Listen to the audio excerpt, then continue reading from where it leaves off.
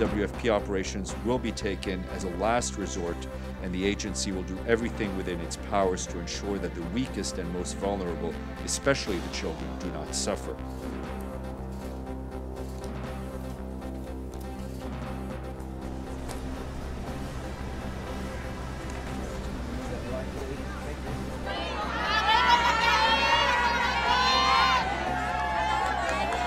Seluruh golongan dan seluruh lapisan masyarakat di seluruh pelosok tanah air. What's the mood like in Cabinet, sir?